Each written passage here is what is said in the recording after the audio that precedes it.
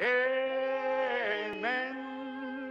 Amen. Amen. Amen. Sing it over. Amen. Amen. Hi, welcome to the Bible Decoded. And today we're taking on a patron's question. She's asking, you know, what is murder and how do we commit that, you know, in relations to the laws? You know, how do the Ten Commandments work? So, because for a long time you will think of them as guideposts, and they are when you're seeing life objectively. They are guideposts. You don't physically commit murder, and you know that's a objective moral and law that we have in the objective world. But when you come to read the Bible subjectively and you look at it a little differently, First off, the translation. The translation actually states that you don't do these things in your heart. Thou shalt not commit murder on thy heart, in thy heart. Thou shalt not steal in thy heart. Thou shalt not covet in thy heart. Thou shalt not commit adultery in thy heart. You know, and this is what, you know, happens to you. You you imagine it first, okay, and you don't keep it up because then it's you're doing it on your heart. You're you're gonna have it happen, okay.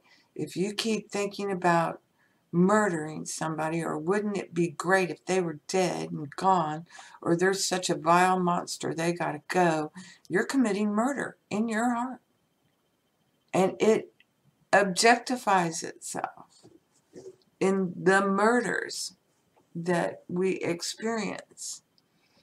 And, and it's like a little Fibonacci sequence, you know, you plant that seed and you're given all kinds of opportunities to stop it. No, no. So you just, you're committing murder in your heart. In other words, you're imagining it and you're putting it on your heart and it must present itself to you in some way. And it gets and it gets closer and closer, and it, and it starts off far off. You'll start seeing you know, a bunch of news and stuff about murder and suicides and you know this horrible thing here and the horrible thing there. And then it starts getting closer. It, it's happening in the places you shop. Okay, and then then you run away and it, it keeps following you. You know, it's getting closer and closer and closer. It really is. Just like Bill Cosby's chicken heart that ate New York City, I swear. It is. Ba-dum, da-da, da-da. It's getting closer and closer and closer. Out into the street. Boop, boop, boop, boop. Ate up all the cabs. Beep, beep. Boop, boop, boop. The Empire State Building. Boop, boop. Boop, boop. Ate up the Jersey Turnpike. Boop, boop. Boop, boop. And you feel like that. Oh God, oh God, like that little Bill Cosby. and it's that kind of thing. So all of them stay, well, the majority of them stay, you know, in your heart. So don't do this and place it on your heart because then it's going to be shown to you. And it's only going to grow and get worse. Okay, where ultimately, you know, you get things like genocides, you know, and, and it's just a whole bunch of murder on the heart being shown to you. And this is what it meant. This is what all that genocide of World War II was about. You know, these people didn't care. They thought some people were subhuman and they had to die. And when people say those things, they've already been thinking those things, you know. Get away from them. Forgive them without distinction. They're a lovely expression of God, but you know, murder will follow them, and eventually they'll, you know, go to jail for murder. They'll commit murder, or something like that. Alec Baldwin is a perfect example of this. Okay, this man has been judging and maligning police officers for having firearms and using them if necessary. You know, and he has criticized them like an armchair policeman. He seems to know better, even though he's never been a, a policeman or had to face the things those policemen are facing. But he supposedly knows better. He's been tweeting it out, letting everybody know, you know, and then he makes a tweet. Uh, Gail and Jane brought this up on their video uh, back in, I think it was 2017. Wonder what it feels like. You know, to kill an innocent person. Well, he got to find out, didn't he? He put murder on his heart. So he got to experience that. If you don't want to experience those kind of things, learn from his experience. You know, those that's what the Ten Commandments are about. Sin is missing the mark. That is what it means. You want to do something or be something, but you think you can't. Okay, and you think you have to take these other steps of stealing and murdering, and you don't do this. Don't go there. Okay, it, it'll be given to you. And it's about the laws. And the commandments are not the laws. Okay, the law is there's only one consciousness.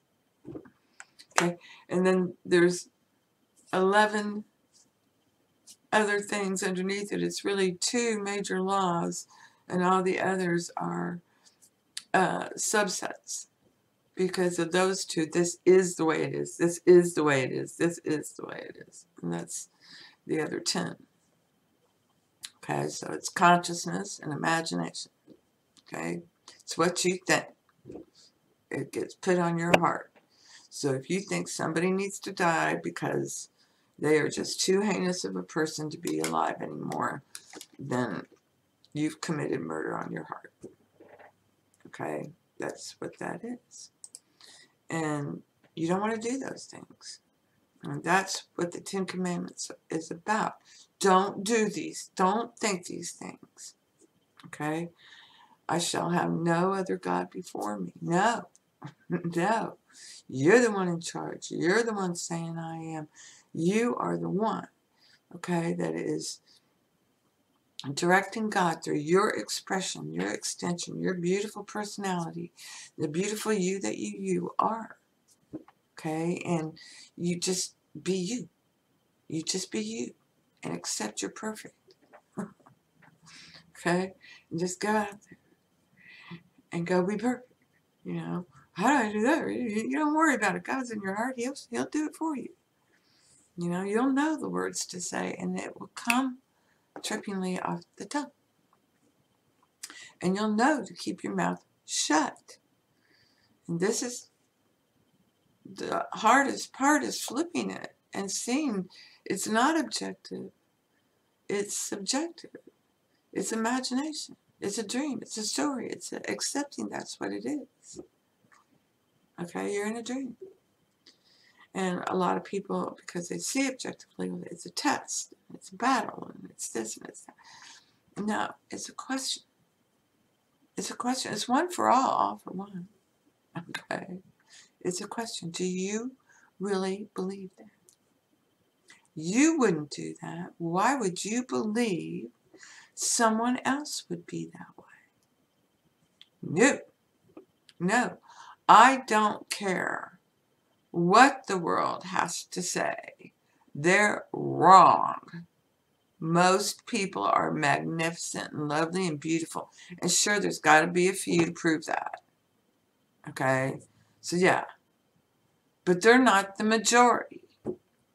Most people are magnificent. And I don't care how they vote. I don't care how they handle things.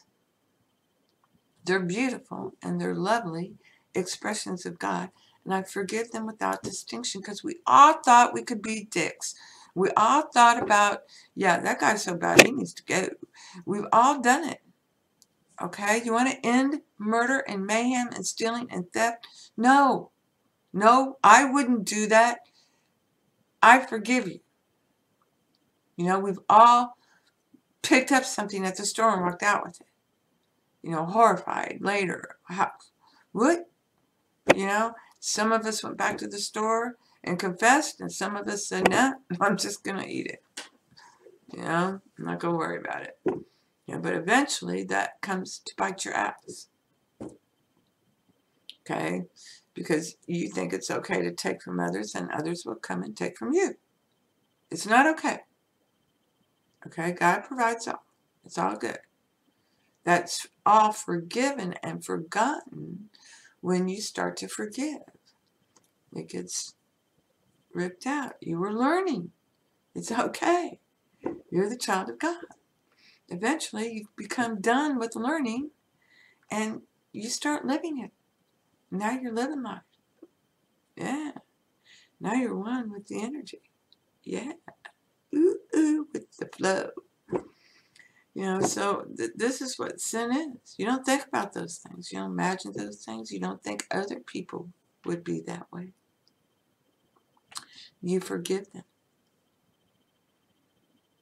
Whatever words come to your mind that they're doing that's driving you crazy, you forgive them. You know, I forgive Alec Baldwin, you know, without distinction. I do. I forgive everyone on that set without distinction. They were playing a role to, sh- to show him what he believed. So, you know, they're all blameless and, and they're all free. Yeah, I forgive them without distinction. It's forgiven and forgotten. You know, but you you got to see the irony in all this. You know? And you can learn from other people's experiences when it's presented to you in such a manner. It's so obvious, it's not even funny. But it is. You know, like, you know, Jesse Smollett. That, I, I'm sure I tortured his name, bless his heart. I'm sorry if I did.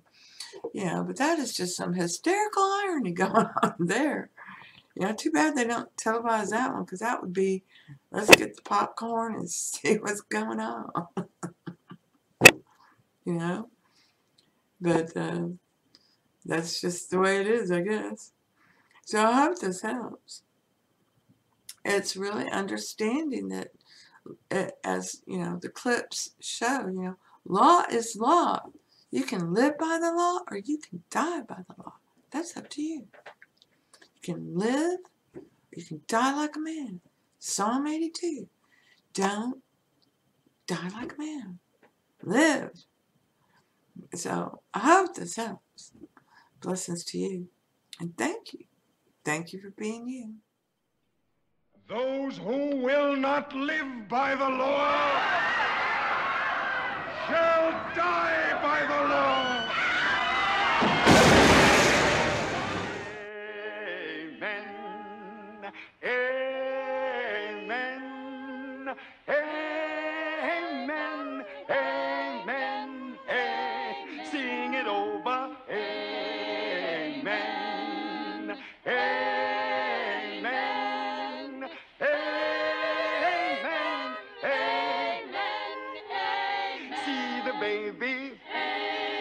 Wrapped in the manger on Christmas morning.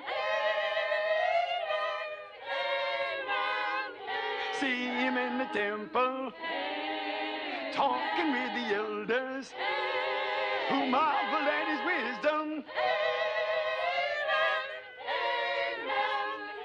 Down at the Jordan,